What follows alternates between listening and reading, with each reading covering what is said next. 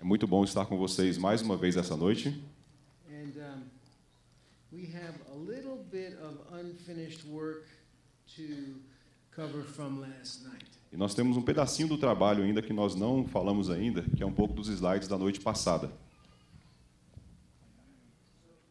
For those of you who um, uh, were not here last night, we're working our way through Ephesians 4, verses 1 through 3. Para vocês que não estiveram aqui na noite passada, nós estamos trabalhando o texto de Efésios 4, versículos 1 a 3. In, verse 3, Paul says that we must make every effort to get along with each other, make every effort to maintain the unity of the Spirit and the bond of peace. No versículo 3, Paulo diz que nós devemos nos esforçar diligentemente por preservar a unidade do Espírito no vínculo da paz. And before he gives us that command, he talks about four prerequisite qualities that we've got to have in our lives in order to be effective at resolving conflicts. E antes de ele dar essa ordem, ele fala de quatro pré-requisitos que nós devemos ter para que nós possamos resolver conflitos entre pessoas. And last night we covered the first two A noite passada nós cobrimos os dois primeiros, que foram humildade e mansidão. And tonight we hope to cover the last two E hoje à noite nós vamos falar sobre os últimos dois: patience and loving forbearance. Paciência e tolerância amorosa. Então nós não conseguimos terminar ainda com a mansidão na noite passada.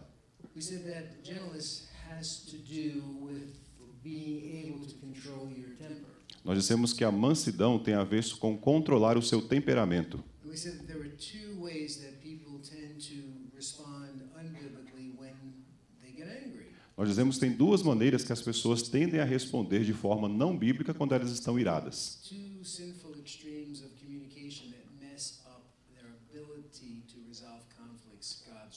Duas formas pecaminosas que as impedem de resolver os conflitos nas formas bíblicas e que são de Deus. E vocês se lembram quais são?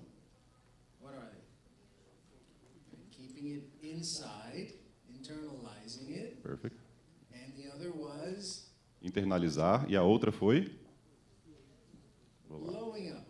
explodir. So now what we want to do, and we don't, uh, we don't have uh, slides for this because we, thankfully, Brother Hector has translated everything Portuguese, so it'll be easy for you to understand.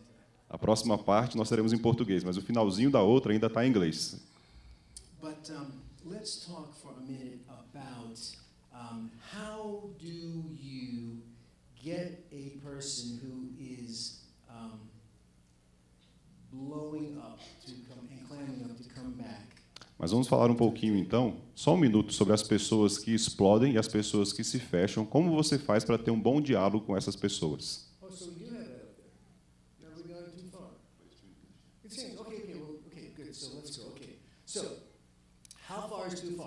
Então, quão longe é chegar tão longe? I mean, how far into a conflict in terms of minutes are most people willing to go before they've concluded that it's time to throw in the towel?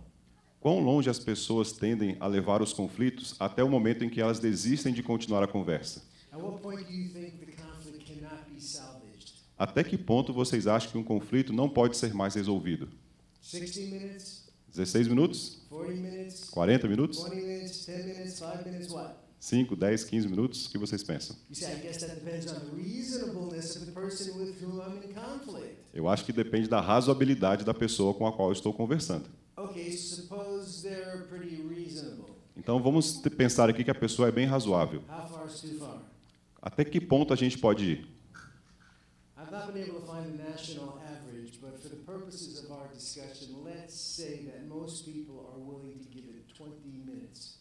Eu não consigo chegar numa média nacional, mas geralmente o que eu tenho visto é que as pessoas conseguem chegar até no máximo a 20 minutos de conflito. Talvez vocês consigam mais ou menos que isso, eu não sei. The real question I want to address is at what point in a conflict that's headed in the wrong direction can one party turn things around and get the conflict back on track? A questão que eu estou dizendo é de quanto tempo você precisa para que esse conflito pare num ponto negativo e ele se volte para um ponto positivo a ponto de você resolver a questão com a pessoa. Se você tem essas duas primeiras qualidades em você, it can actually be an hour into the conflict pode ser que você leve uma hora nesse conflito. e você consiga resolver esse conflito na maioria dos casos. Você começa uma hora em conflito, confessando os seus pecados. Olha, antes da gente continuar, eu quero pedir o seu perdão. Eu fui uma pessoa sem razão. A Bíblia diz que a sabedoria que vem do alto é razoável. Eu fui muito duro, impaciente. Eu acho que eu falei com palavras ruins para você. Você me perdoaria? Veja como a humildade se apresenta muito melhor dessa forma. E muitas vezes, quando você faz assim, adivinha o que acontece? A outra pessoa responde assim: Yeah, yeah, I forgive you, but me too. I need to ask your forgiveness. Olha, tudo bem, eu te perdoo, mas eu também preciso pedir meu perdão para você. Eu também fiquei bravo com você. Tem mais alguma coisa que eu preciso pedir perdão para você?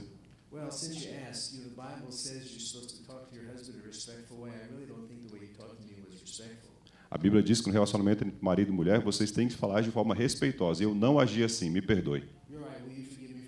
Você me perdoaria por isso? Então vocês pegaram a ideia? So now, what do you do i- i- if you're in a conflict with someone and they blow up or they clam up? Então o que você faz se você está numa discussão com uma pessoa e eles se explodem ou então essas pessoas se fecham?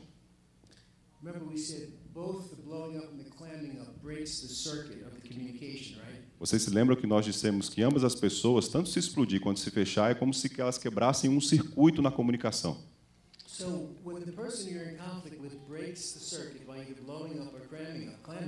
Então, se a pessoa que você está conversando se explode ou se fecha e quebra esse circuito, you need to try to make an effort to turn the circuit back on. Você tem que fazer um esforço para colocar esse circuito em ligação novamente,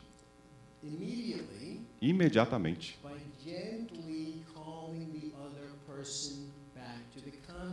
de uma forma mansa e tranquila, trazendo essa pessoa em paz para o conflito. E, se necessário for, pedindo para que essa pessoa se arrependa do que ela fez. Isso pode ser feito de várias maneiras.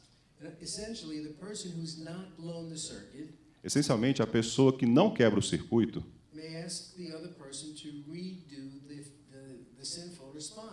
pode pedir para que a outra pessoa refaça aquela maneira com a qual ela respondeu de forma pecaminosa.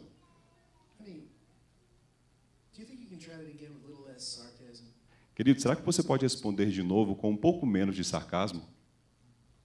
Do you think you could ask me a question rather than falsely judging my motives and making me feel like I'm being falsely accused? Você poderia me fazer uma pergunta em vez de já julgar anteriormente os meus pensamentos e os meus sentimentos de uma forma pecaminosa? O, ah, o Salmos diz que o coração nos, nos leva para a forma correta de responder a uma pergunta, de forma branda. E como marido e mulher, nós deveríamos estar hábeis a responder um ao outro, certo? Now, a little bit sort of like uh, childish, Então, esse exercício nos mostra como todos nós fazemos criancices, mas é muito efetivo. A única questão é que leva muita humildade para que estejamos hábeis a fazer isto. Redo. Eu não vou fazer com que meu marido me faça refazer isso. Mas se você concorda com ele, you're going to help each other communicate biblically que você com essa atitude vai estar ajudando o outro a responder biblicamente?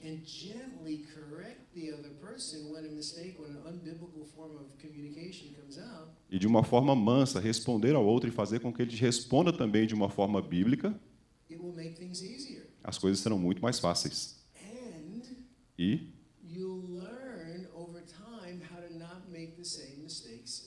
você aprende das outras vezes a não agir dessa mesma forma, porque a outra pessoa está sempre te treinando assim.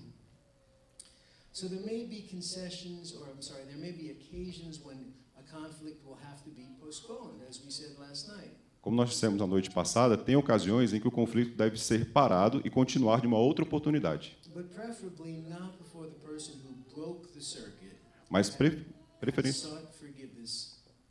mas preferencialmente não pela pessoa que explodiu, pela pessoa que está pedindo perdão. E ela tem que concordar em terminar essa conversa depois.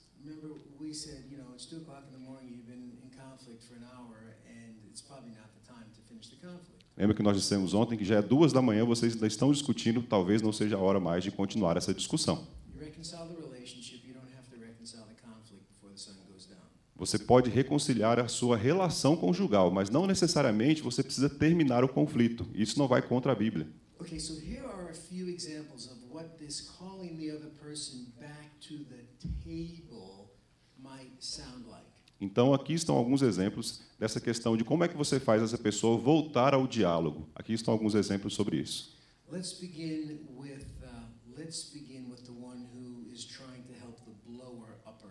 Vamos começar com a pessoa que está tentando ajudar alguém que se explode facilmente. I think I think I know why you're upset. Eu acho que eu sei porque que você está bravo. Eu não deveria ter dito isto. Foi errado da minha parte. Não foi muito gentil. Você identifica o pecado nessas frases. Você não agiu de forma amorosa. Não foi de uma forma com vingança. Foi desrespeitoso o que eu fiz. Eu não estou vivendo com você de acordo com o conhecimento bíblico que eu deveria ter. Will you please forgive me Você poderia me perdoar and allow me to try to make my point a different way? e me permitir falar de uma forma diferente para você? Eu vou dar aqui muitos exemplos para vocês. Um, this is just a template. It doesn't have to be verbatim, but just to get the idea of how it might work for you and for the people that you are routinely in conflict with. Isso é só um exemplo. Você não precisa usar essas frases exatamente como eu falei, mas que a situação fique gravada na sua mente para que você sempre se encontre na situação e aplicar esse tipo de exemplo. E sobre essa possibilidade? Você está parecendo muito bravo, hein?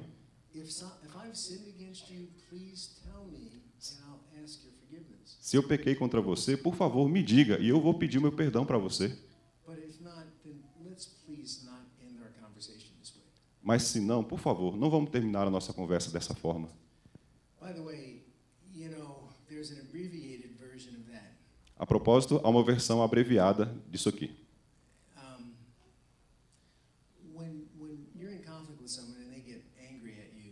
Quando você está bravo com alguém e discutindo com alguém, se você quer uma versão resumida disso, which won't work in every single situation, but in many it will, que não vai funcionar em toda situação, mas em algumas sim, você pode tentar o seguinte: você parece estar muito bravo, ou talvez esteja chateado. Eu pequei contra você?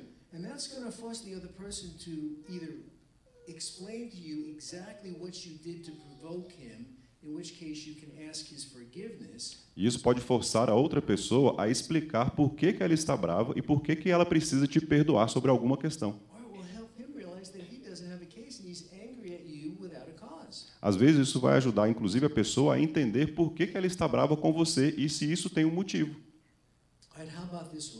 E sobre essa seguinte situação. Por favor, vamos voltar ao diálogo? Eu posso orar por nós?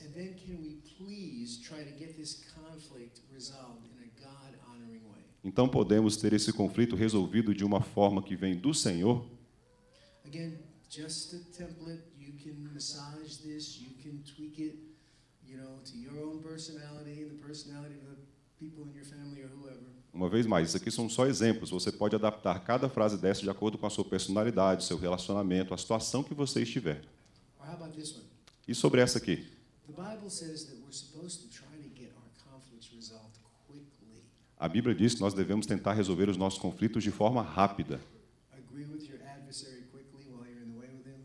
Concorda com o seu adversário que tem que ser resolvido de forma rápida?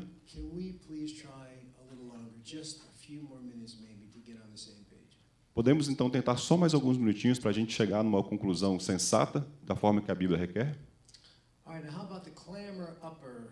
E, a, e sobre as pessoas que se fecham? Eu acho que eu sei por que que você está com problemas. Ou qualquer outro tipo de situação que a pessoa se fecha está, nela, está nessa situação. Again, it's the same thing. Um, I I shouldn't have said that. You identify what you did to provoke the other person. I shouldn't have said that. It was wrong. You put in biblical terms what you did wrong. You ask for forgiveness. Uma vez mais, você pode falar biblicamente que você está errado, que você não deveria ter agido assim com ela e que você quer o perdão dessa pessoa. Você poderia me perdoar e deixar eu falar a forma com que eu estou enxergando essa situação? Você parece que está frustrado comigo. A propósito, in America, in, in the States, people say, I feel frustrated. nos Estados Unidos as pessoas dizem: "Eu me sinto frustrado". Essa é mais ou menos a maneira que a gente fala aqui. Eu estou frustrado. Yeah, well, the truth is, what you feel when you're frustrated is angry. A verdade, quando você fala que você está frustrado, você está com ira. You are angry and you, uh, you- I'm sorry, you are frustrated and you feel angry. Você está frustrado e você sente a ira. Again, if I've, if I've sinned against you, please let me know and I'll be happy to ask your forgiveness. Uma vez mais, se eu pequei contra você, se eu estou irado contra você, por favor, me deixe pedir o seu perdão. But please, let's not try, let's not stop trying to resolve this. Mas, por favor, não, não deixemos de resolver esse conflito agora. Please don't, because now the other person's, you know, he's, he's basically packing up his bags and going away. He's leaving the conflict. A pessoa que se fecha geralmente sai do diálogo. So, you know, you're gonna, you're gonna plead with him, or please don't stop now. Mas você deve implorar com ela: por favor, não saia, não pare agora.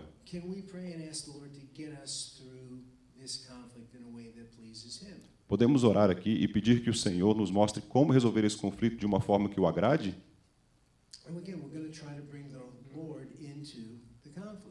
Uma vez mais, nós tentaremos trazer o Senhor para o meio do conflito. Let's see, did I get them all? Um, yeah, okay. Uh, oh, here's a few more. Okay. How about we simply take a 15 minute break? E se a gente simplesmente tomar 15 minutinhos de pausa? Cada um vai para o seu canto orar and then come back to the table for one more round of conflict. e a gente volta então para mais uma sessão de conflito. I start the book out by talking, in the forward of the book, I, I start the book out by talking about one of my first times in Brazil. Eu começo esse livro falando sobre uma experiência que eu tive das primeiras vezes que eu vim para o Brasil. And uh, I use the word conflict. E eu uso a palavra conflito, uh,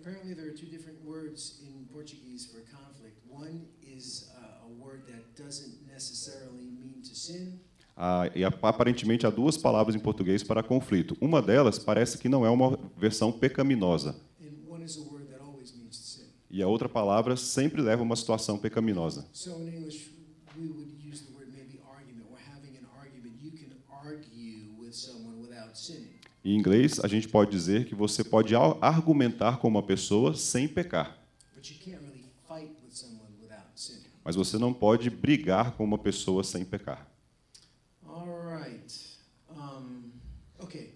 So that gives you a little flavor, maybe, of how, by clothing yourself with humility, you can turn a conflict around, even if it's many, many minutes into the fight.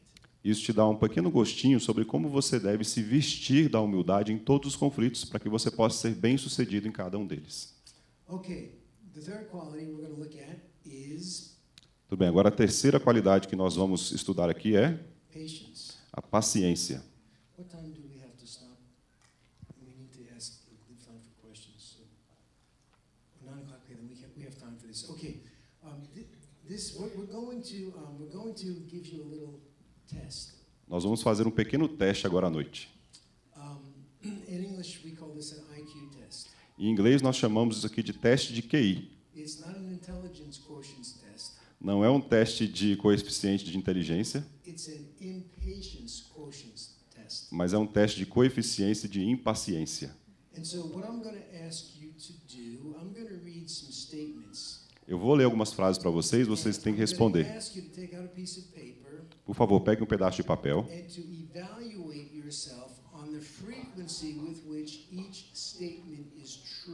e avaliem vocês mesmos sobre a frequência com que cada uma dessas frases acontecem com você.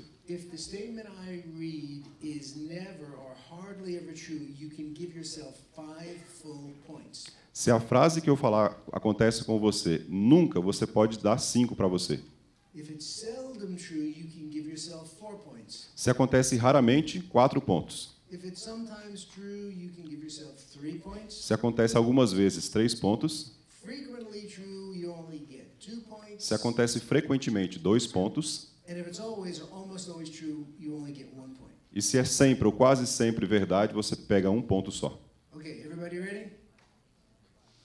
Todos estão prontos? Vai aparecer aqui no slide para a gente o teste. Vai aparecer para a gente aqui. Mas só para a gente relembrar, So, you know, the worst you can get aqui está aqui no slide agora. on the test is 20%. It's here now, em português. Very good. Okay, ready? Number one. Número um. When another motorist cuts me off as I'm driving my car, I become so annoyed that I say something critical, unkind, or nasty to or about that motorist. Quando uma pessoa me fecha no trânsito, eu simplesmente respondo de maneira tranquila pra, com, pra, com, a, com a forma com que ele me fechou no trânsito. Eu nunca fico irado com esse tipo de situação. Vocês estão rindo. Quantas vezes isso acontece que é verdade? Never, hardly ever, Nunca, seldom, às vezes, frequentemente. Almost always or always. Number two. Número 2.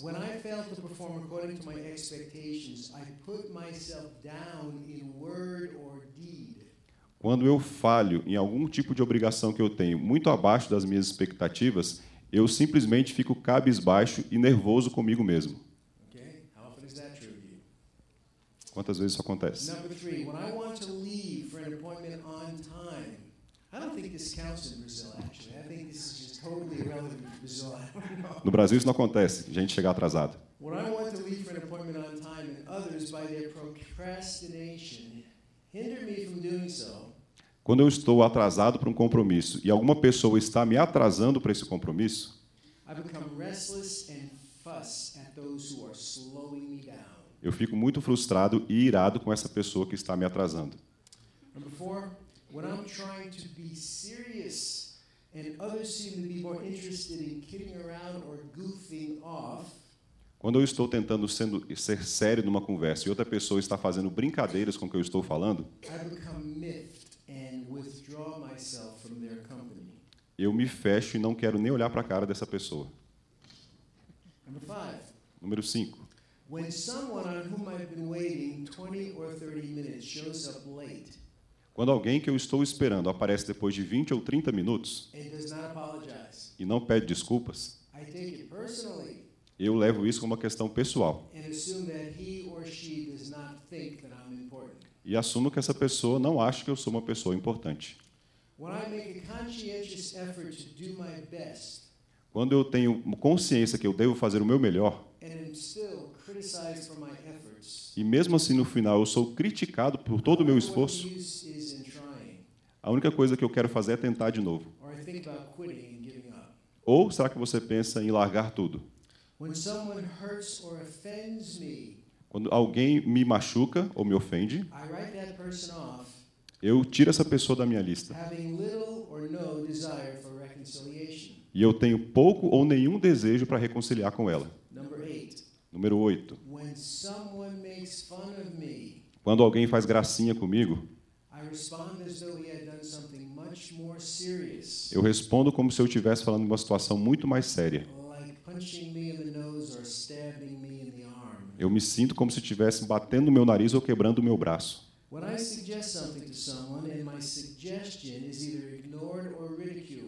Quando eu sugiro alguma coisa para uma outra pessoa e a sugestão é ignorada, eu simplesmente paro de dar conselhos para essas pessoas no futuro. Quando as pessoas não me tratam com o respeito que eu acho que é devido a mim, my desire to communicate with them and to minister to them is diminished. Meu desejo de me comunicar com ela é diminuído em muito. 11. Número 11. When people expect more of me than I can realistically, than I'm realistically capable of doing, Quando as pessoas esperam muito mais de mim do que aquilo que eu posso entregar, eu acho que é melhor não fazer aquelas coisas do que a pessoa ser ingrato comigo. When I'm working against a deadline and realize that I'm not going to meet that deadline, Quando eu estou trabalhando com um prazo e eu vejo que eu não vou conseguir cumprir aquele prazo. Eu fico muito irado com as pessoas que estão ao meu redor.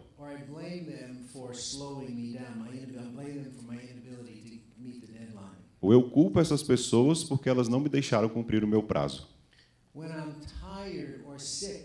Quando eu estou cansado ou doente, eu fico muito irritado e com um pavio muito curto. Number 15. Número 15. When someone tries to convince me that according, uh, um, when someone tries to convince me that according to the Bible something is wrong, when I know that the Bible doesn't teach that that is wrong, Quando alguma pessoa tenta me convencer de uma coisa que a Bíblia fala que não é errado e ela está dizendo que aquela questão é errada, eu tenho lutas com sentimentos ruins para com aquela pessoa. When someone with whom I'm acquainted does not change, think of your spouse, Pense agora no seu cônjuge, ou talvez seus filhos.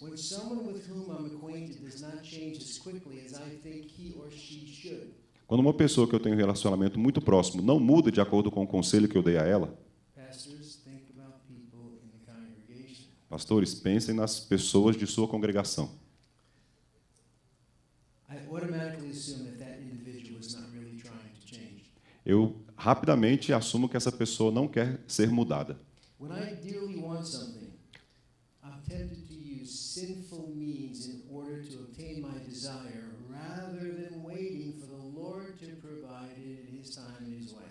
Quando eu quero uma coisa muito, eu prefiro usar de maneiras pecaminosas para conseguir do que esperar o tempo e o modo de Deus para que eu consiga esse tipo de coisa. Three more to go. This is number 18. Mais três somente, 18. When others don't meet my expectations, Quando os outros não alcançam minhas expectativas,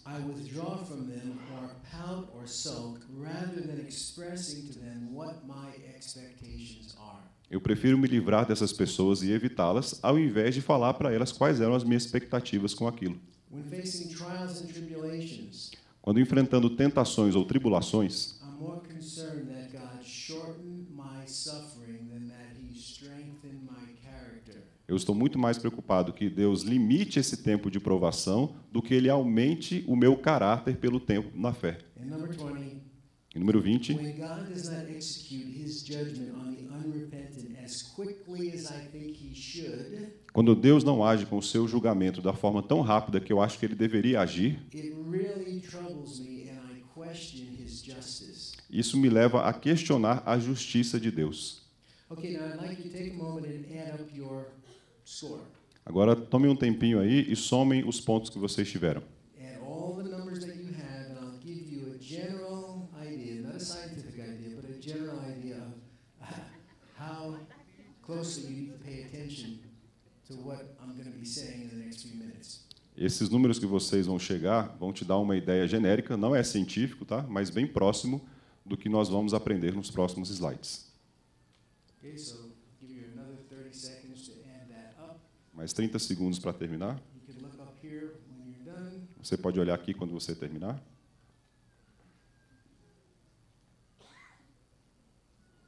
Now remember, the worst you can get on this is 20%. You could, you, you know, if you put all ones down, then you got 20%. So that's pretty good, right? You don't get zero. O mínimo que você pode conseguir é 20%. Okay, Um ponto em cada questão. so if you scored between 94 and 100%, Se você tem pontuação de 94 a 100, you have, you have no problem with impatience. você não tem problema nenhum com impaciência. Você tem um problema com desonestidade. If you scored between 84 and 93%, Se você pontuou entre 84 e 93, that's a really good score. You're probably a pretty patient person. provavelmente você é uma pessoa paciente. Parabéns. You scored between 74 and 83, 74 a 83. you could use more patience. Você poderia usar um pouquinho mais de paciência. 64 to 73, 64 a probably 73. you consider yourself an impatient person. Provavelmente você com- começa a ser uma pessoa impaciente. And if you scored 63 or below, Se você tem 63 ou menos, you need to watch the video of this lecture over and over again until you can raise your score. você tem que assistir o vídeo dessa palestra depois várias e várias vezes até que você possa aumentar pelo menos um ponto. Right. So, what is patience? Então, o que é paciência? Number one, patience is the ability to accept a difficult situation from the Lord without accusing Him of wrongdoing Paciência é a habilidade de aceitar uma situação complicada que vem de Deus sem acusá-lo de fazer algo errado ou dando a ele um prazo para remover essa situação.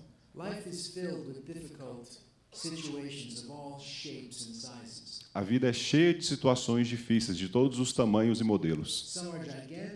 Umas são gigantes, umas são pequenininhas. In fact, if you think about the, Na verdade, se você pensar nas perguntas que eu perguntei agora nesse teste, a maioria delas são grandes provações. Muitas provações, você pode dizer.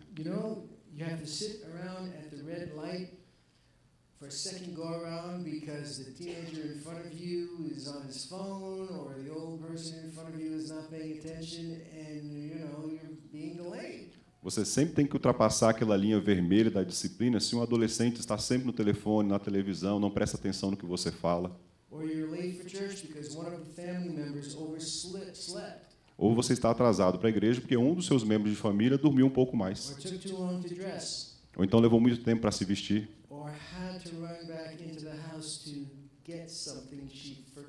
Ou teve que voltar para dentro da casa para pegar alguma coisa que ela esqueceu. Something that you think is inconsequential. Alguma coisa que você pode até pensar que é inconsequente. I, I dare say most of the trials that we experience in life are these small, mini trial kinds of trials. Eu posso dizer que muitas das questões de provações que temos na vida são essas pequenas provações diárias. Coisas que tes- testam a nossa impaciência sobre pequenas coisas. Do you ever stop to consider that you hardly ever find the word patience in the Bible without it being attached somewhere in the context to a trial? Você já reparou que você raramente encontra na Bíblia a palavra paciência se não for atrelada com alguma situação de provação? James, the book of James, O livro de Tiago. commends Job as an example of patience during trials. Sede, irmãos, pacientes durante as provações. As, uh, as Hector reads this passage from the book of James, I want you to notice how many times the word patience and endurance occurred. Eu quero que vocês agora leiam Tiago, And there's a difference between those two words, and I'll explain that to you in a few minutes. Tiago 5, de 7 a 11. Eu quero falar um pouquinho sobre esse texto. Sede, pois, irmãos, pacientes até a vinda do Senhor. Eis que o lavador aguarda com paciência o precioso fruto da terra, até receber as primeiras e as últimas chuvas. Sede vós também pacientes e fortalecei o vosso coração, pois a vinda do Senhor está próxima. Irmãos, não vos queixeis uns dos outros, para não serdes julgados. Eis que o juiz está às portas. Irmãos, tomai por modelo no sofrimento e na paciência os profetas, os quais falaram em nome do Senhor. Eis que temos por felizes os que perseveraram firmes. Tendes ouvido da paciência de Jó, e vistes que o fim do Senhor lhe deu, porque o Senhor é cheio de terna misericórdia e compassivo. So, and, and you have the word suffering in there as well, by the way. Então temos a palavra sofrimento também na tradução aqui. So. Eu tenho quatro paciências e uma perseverança. Do you remember how Job, upright, evil, Vocês lembram como Jó, aquele homem de Deus, paciente, cheio de misericórdia, respondeu durante toda a aprovação que ele teve, depois de tudo que ele recebeu do Senhor? Then Job arose, Então Jó se entregou ao Senhor. tore his robe, Ele simplesmente rasgou a sua roupa. De- de- Ele fez a sua barba, caiu aos seus pés e adorou o Senhor. Ele diz: Nu vim do ventre da minha mãe, nu voltarei para de onde eu vim. O Senhor deu, o Senhor tomou. Bendito seja o nome do Senhor. O que exatamente era a vida de Jó? We read the book of Job and we think, I would never, ever, ever, ever want to go through something like that. It was horrible. Nós lemos o livro de Jó e pensamos: nós, eu jamais, nunca quero ter uma vida como essa de Jó, sobre os sofrimentos que ele teve. And it was. Mas ele teve. But we lose sight of the fact that the Bible teaches that before Job's trial, Mas nós perdemos o sentido ao ver que antes das provações de Jó, ele era um homem muito abençoado. Ele tinha uma vida abençoada. Então, quando a provação termina, ele é duplamente abençoado. And so we have to zoom out and look at Job's life as a whole, not just the moment that he was Então, nós temos que dar como se fosse um zoom na vida de Jó e ver a vida inteira dele, não apenas o período em que ele sofreu.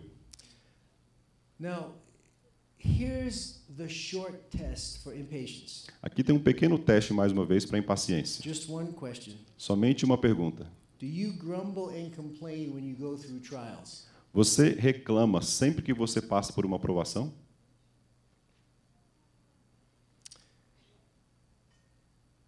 In uh, 1 Corinthians 2, we find a very familiar but often misunderstood passage of Scripture. Em 1 Coríntios 2:9, nós encontramos uma passagem muito familiar, mas que muitas vezes é mal interpretada.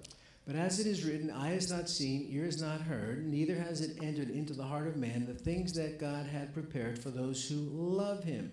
Como está escrito: nem olhos viram, nem ouvidos ouviram, nem jamais penetrou em coração humano o que Deus tem preparado para aqueles que o amam. Do you love God? Você ama a Deus? Okay, good. Muito bom. Now, the misunderstanding has to do with thinking that this passage has to do with heaven, that which has to, has to, what, what's going to await for us in heaven. Muita gente mal interpreta essa passagem achando que ela está dizendo somente do tempo em que nós estaremos no céu. Mas isso, a passagem não está falando disso aqui. Paul is actually quoting Isaiah the prophet to make the point that only those who love God have the Spirit of God to teach them. Na verdade, Paulo está fazendo uma citação de Isaías 64, dizendo que aqueles que são amados por Deus e que amam a Deus esperam no Senhor. Only those individuals can really understand spiritual truth. Somente esses indivíduos, então, podem entender as coisas espiritualmente. It cannot be understood through mere intellectual pursuit or empirical studies. Não pode ser entendido apenas de uma forma intelectual ou somente um estudo, como se fosse uma coisa didática. Não. Somente entendido pelos olhos ou pelos ouvidos. Você está ouvindo essas vozes? Do you not hear those? Você não está ouvindo, não? Você está ouvindo as vozes? Sério? There are hundreds, maybe thousands of voices in this room right now. I can't you can't hear them? Há centenas ou, que- quiçá, milhares de vozes nessa sala. Vocês não podem ouvir? I've got a radio at home. Eu tenho um rádio na minha casa. It's got AM, Tem AM, FM, FM, television, TV, shortwave, eh, ondas médias, police, eh, polícia and I think aircraft. e acho que rádio das aeronaves também. Then are all the digital conversations that are going on. São conversões digitais que estão acontecendo. right. Nessa sala tem várias satellite ondas. radio, satellite television. Ondas de TV, de satélite. But you can't hear them unless you have the receiver. Mas você não pode ouvir cada uma dessas ondas se você não tiver o receptor correto. Well, that's the point that Paul is making. É esse o ponto que Paulo está falando aqui. From the days of old, so, so now I, I want you to look at what the, the Old Testament passage says. So Paul quotes it in the New Testament, but he's citing it from the Old Testament, and the Holy Spirit, through Paul's pen, changes the wording. Eu gostaria que vocês entendessem a passagem do Velho, do Antigo Testamento, sob a visão de Paulo agora e como o Espírito Santo muda a forma de escrita através da caneta de Paulo para que possamos entender aquela passagem. For from the days of old they have not heard or perceived by ear, nor has the eye seen a God besides you, who acts on behalf of those who love him? Uh uh Of those who wait for him. Isaías 64, 4 diz: Porque desde a antiguidade não se ouviu, nem com o ouvido se percebeu, nem com os olhos se viu, Deus além de ti, que trabalha para aquele que nele ama? Não, para aquele que nele espera. Você viu o que aconteceu aqui? A palavra esperar foi mudada para a palavra amar. Isaiah was looking forward to the Messiah. Isaías estava aguardando ainda o Messias. uses the word wait in anticipation of his coming. Ele usa a palavra esperar como uma antecipação de sua vinda. Paul used the word love because Messiah had already come by that time. Paulo usa a palavra amam porque o Messias já tinha vindo. Mas não percam aqui a analogia. Amar a Deus é esperar por Ele. Most of you probably have 1 Corinthians 13, Muitos de vocês podem ter 1 Coríntios 13, de 5 a 7, já memorizado. What's the first characteristic of biblical love? Qual é a primeira característica do amor bíblico? O amor é paciente. And what's the last characteristic of biblical love? Qual é a última característica do amor bíblico? Ele suporta tudo, sofre, tudo crê, tudo espera, tudo suporta. Now, what does this have to do with conflict resolution? O que, que isso tem a ver, então, com resolução de conflitos? We often have conflicts with individuals, with trying individuals, Muitas vezes temos conflitos com pessoas difíceis, individuals who regularly cause us some amount of misery. pessoas que talvez causem até miséria no nosso coração. It's with these troubling, difficult individuals that we must exercise greater patience. E é com essas pessoas mais problemáticas que nós devemos exercitar a nossa paciência.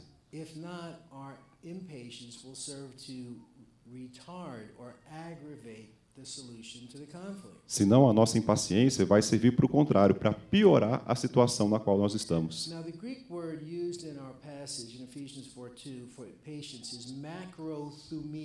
Now, the Greek word used in our passage in Ephesians 4 2 for patience is macrothumia. A palavra grega usada em Efésios 4:2 para paciência é microfomia, Thumas. muito mais. Is that Portuguese? Too much. Yeah, yeah. So, a long time before you blow it. Um grande tempo antes de a gente poder explodir. Long fuse. Paciência. Do you have the saying in Portuguese, the person has a short fuse? Ah, ele está querendo saber se a gente tem uma palavra para pavio curto. Okay. Pavio curto, ele quer So dizer. let's suppose this is dynamite. Vamos pensar que isso aqui é um dinamite. And a normal person has a long fuse. E uma pessoa normal tem um pavio muito longo. Long fuse. Muito longo. And then we say that a person has a short fuse, he's Uma pe- angry, right? Uma pessoa que tem um pavio curto já está brava nesse momento. Hold this. But what happens if you jump to conclusions? You make snap judgments because you don't think, you're impatient. You don't wait until you get enough information because you're impatient to figure out what's really going on here. O que acontece se você tem decisões precipitadas? Você é impaciente. Then what happens is you light the fuse here instead of here O seu pavio começa lá embaixo, em vez de começar aqui em cima, because you're impatient. porque você é impaciente. You pull the pin out of the hand grenade and throw it before you realize whether or not the thing on the other side of the whatever is a friend or a foe. Você tira o pino da granada e joga no meio da multidão sem querer saber o que vai acontecer. In the counseling office, when I try to help someone identify impatience with people, there are a couple of things I look for. Quando eu estou aconselhando e tentando ajudar pessoas que lutam com a impaciência, tem alguns pontos que eu trato. E a gente vê isso em aconselhamentos de matrimônio. O primeiro é a falta de vontade de continuar trabalhando nesse relacionamento. Relacionamento leva muito esforço. Are too quick to throw in the towel on friendships and even on family relationships that are difficult. Mas a pe- pessoa impaciente, ela joga a toalha muito rápido, ela não quer trabalhar para o bem da sua família. You know, we hear it all the time. How long? A gente sempre, How long do I have to put up with her nagging? a gente sempre ouve isso aqui nos aconselhamentos pastorais. Por quanto mais tempo eu tenho que aguentar essa situação com essa pessoa egoísta que não me considera mais? Nesse ponto eu chego em Hebreus, então 10:36. You have need of endurance, Você deve suportar a pessoa. so that when you've done the will of God, Então, quando você fizer a vontade de Deus, after you've done the will of God, depois que você fizer a vontade de Deus, day in and day out, for as long as it takes, dia após dia, não importa quanto tempo levar, then you'll receive. Então você vai receber a promessa. The other way it shows up A outra forma que, aparece, when I'm counseling an impatient person quando eu estou aconselhando pessoas impacientes, they put undue pressure or even demands that a loved one change according to their own subjective schedule. é que eles fazem pressão para que a outra pessoa mude e seja muito parecida com as expectativas dele, que ela siga o seu calendário. I mean, you may have a, a, a sort of a sanctification agenda for the people in your family, Talvez você conheça pessoas que estão num processo já amadurecido de santificação na sua família. Então você deve conversar com essas pessoas sobre isso, mas você não sabe o que está acontecendo no seu coração. Muitas vezes você deveria saber. But the Holy Spirit may have a different uh, sanctification agenda for them, and you want to be careful that you don't impose your agenda over that of the Holy Spirit. Mas a sua, o seu tipo de gênero, o seu tipo de, de, de- paciência não pode ser, querer ser colocado para cima de outra pessoa. Sometimes I tell impatient people Muitas vezes eu estou aconselhando pessoas impacientes. if the Lord were to show you all of your shortcomings in one moment, Se Deus colocasse na sua frente tudo que vai acontecer na sua vida em apenas um simples momento, and said, uh, You've got two and a half weeks to get them straightened out, você tem duas semanas e meia para ajeitar tudo na sua vida. how would you feel? Como é que você, você se sentiria? When we're in conflict with another believer, Quando estamos em conflito com outro cristão, it's easy to become angry and impatient with the immaturity of our opponent. nós facilmente nós nos tornamos impacientes com a imaturidade cristã do nosso oponente. We sometimes wish that we could argue with someone more mature, someone that's not quite as childish. Muitas vezes a gente preferia estar argumentando com uma pessoa que fosse mais madura espiritualmente e não uma criança. But a patient person accepts the fact that his opponent is where he is spiritually. Mas uma pessoa que é paciente, ela esquece dessas questões e entende que aquela pessoa está no mesmo nível espiritual que ela. Ele tem que fazer o que ele precisa para chegar numa maturidade espiritual, but doesn't allow himself to be provoked into temporarily obscuring his own maturity by a sinful response. mas muitas vezes essa pessoa não se deixa ser ensinada e e ser levada a um processo de santificação simplesmente pela vida pecaminosa que ela está levando. Um, I, I don't know uh, if I'm going to be able to finish this whole thing for questions right now, but there's one more section I want to cover. Talvez eu não termine agora tudo, eu tenho mais tempo ou questões agora? I want to talk to the pastors and the elders. Eu quero falar para pastores e presbíteros. As pastors and elders, you must learn to be patient Como pastores e presbíteros, vocês devem aprender a serem pacientes, because you'll often be called upon by God to deal with difficult people.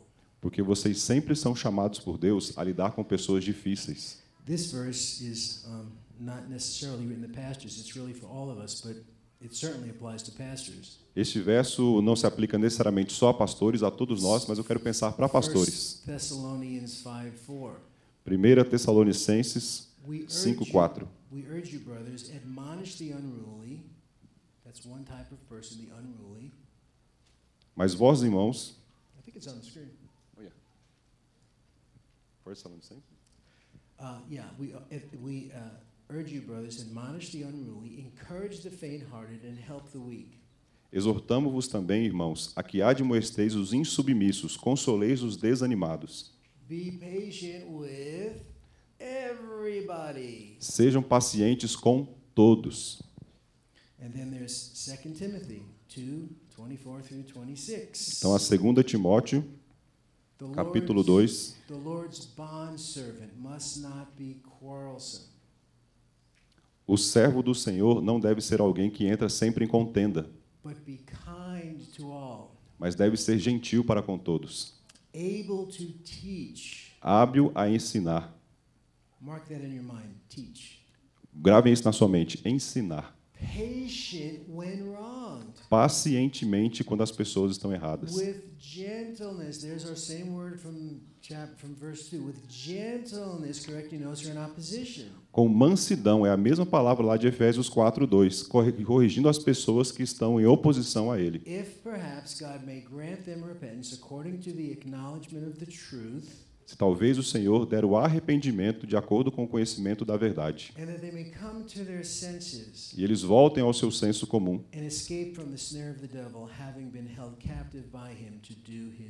e fujam do maligno para não serem cativados para fazer as vontades do mal.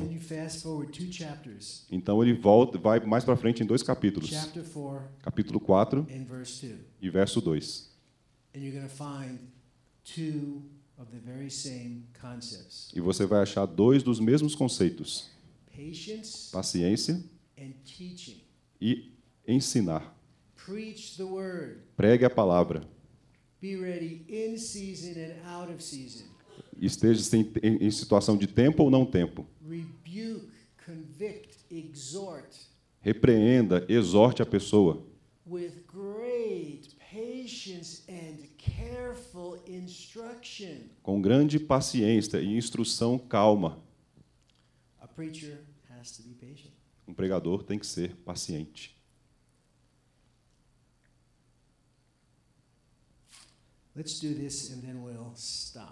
Vamos fazer só mais esse, então a gente vai parar um pouquinho. Here are some communication issues that are associated with impatience. These are things that happen in communication that reveal the fact that you're being impatient.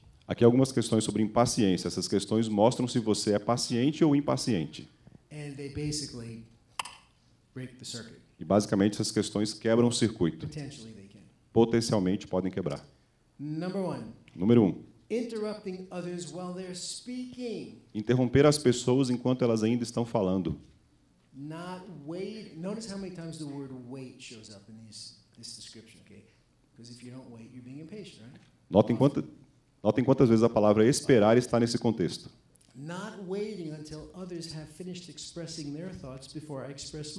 Não esperar que a pessoa acabe de colocar os seus pensamentos na mesa antes de eu colocar os meus. Chegando a conclusões precipitadas e infundadas. Lighting the, you know, lighting the fuse too soon. Diminuindo ainda mais o fusível. Not waiting until I have asked my victim what his real motives are before I accuse him or her of improper behavior. Não esperando quais os motivos minha vítima realmente tem, já julgando e pré-julgando os seus motivos. Demanding immediate answers to difficult questions. Buscando sempre respostas rápidas para questões difíceis. Not waiting until those I question have had sufficient time to consider their response. Não dando o tempo necessário para a pessoa dar uma resposta apropriada. Vamos, vamos, vamos. Pressuring people to quickly finish what they're saying. Pressionando as pessoas para que elas terminem logo de falar o que elas estão dizendo. Vai, termina. Not waiting for others to finish expressing their thought before I express mine. Não esperando que os outros expressem os seus pensamentos antes que eu expresse os meus. Remember Proverbs 18:2 we talked about last night? Lembra de Provérbios 8 que falamos ontem à noite? Ah, O tolo não co- compreende a repreensão, Finishing others' sentences. terminando as frases dos outros. Not waiting until others have finished expressing their thoughts before I express mine. Não esperando que as pessoas terminem seus pensamentos antes que eu expresse os meus. Levando a vingança verbal.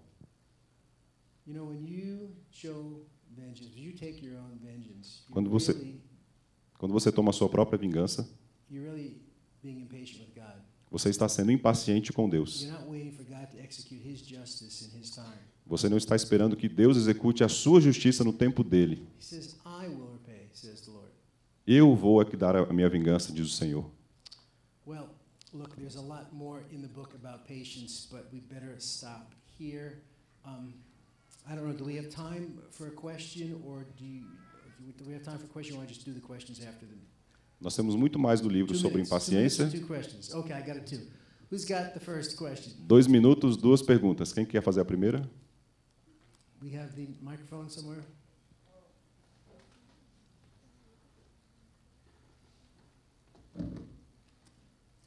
Ah, ainda sobre a questão de tentativa de reconciliação, ah, eu fiquei pensando como produzir uma reconciliação com alguém que se recusa a resolver o problema. E dentro disso ainda, como fazê-lo ah, considerando que a outra pessoa pode não ser uma, uma pessoa cristã, ou pode ser, e tentando me reconciliar com ela sem deixar de apontar amorosamente esses pecados. Então, às vezes, a gente tem algumas pessoas que elas não querem resolver o problema. Como então, qual seria a dica do Lu para esse tipo de questão? Sometimes there are people, believers and not believers, that refuse to solve that problem. How would you give a clue to some people that comes up, if you know, he's a believer or not, just to resolve the conflict? To summarize, how to resolve a conflict with someone that doesn't want? Well, there's, there's two different sets of instructions when you're dealing with a believer and, and, and an unbeliever. Há duas situações diferentes, se for um crente ou não crente. You know, the Bible says that an unbeliever, you may not be able to get it resolved. A Bíblia diz que com um não cristão, talvez você não vai ter a habilidade de resolver. If it is possible, Se possível, believer, cristão, as much as depends on you, quanto depender de vós, believer, cristão, live at peace with all men. tenha paz com todos os homens. Now that doesn't mean, all men in- includes believers and unbelievers. Inclui cristão ou não cristão nesse ponto. Um, so that's not to say that you can't try to apply biblical principles to those kinds of situations. You, you may make appeals, but you may not probably be able to use the scriptures as a basis of the appeal. Isso não quer dizer que você não possa usar princípios bíblicos quando está resolvendo um conflito com pessoas não crentes. Você pode até tentar, mas talvez você não resolva. But what did Jesus say you're supposed to do if you're in conflict with someone and they will not hear you? Mas o que Jesus disse se você está em conflito com uma pessoa e ela não quer te ouvir? Involved, right? Você tem que colocar mais alguém envolvido nessa questão. Do you remember those two women in um, in Philippians chapter four who couldn't get along with each other? Lembra aquelas duas mulheres em Filipenses 4 que não podiam viver juntas? I don't know the Portuguese pronunciation, Euridice Euridice and Syntyche.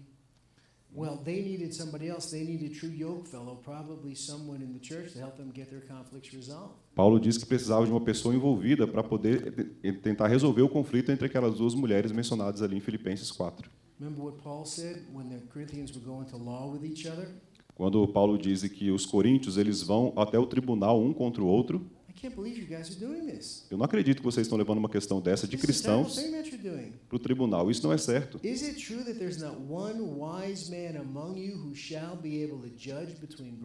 Será que não há um cristão sábio que pode resolver essa questão entre os irmãos? And so, you know, at some point you may have to say, um, well, let me tell you a story, Então, deixa eu contar uma história para você. we'll. Então a gente vai parar. So Kim and I, Kim and I were early in marriage, Então eu e minha esposa, and I had gotten in the habit of, um, I had gotten in the habit of uh, watching late night television. eu tinha o hábito de assistir televisão até mais tarde. And she came in one night, and as I was watching television, and she said, "Honey, you need to come to bed." E ela veio na sala então, já era tarde, eu estava assistindo televisão, e ela falou: "Querido, você tem que vir para a cama". And I said, I'm not tired. Go to bed. I'll be in in a little bit. Eu falei: "Não, não estou cansado ainda, vai para a cama, depois eu vou". She said, honey, this is like the fourth or fifth night in a row you're staying up after midnight watching television. Querido, isso já é mais ou menos a quarta ou a quinta ou a nona vez que eu te chamo e você está assistindo TV mais uma vez até tarde I da noite. Eu não acho que você vai dormir suficiente.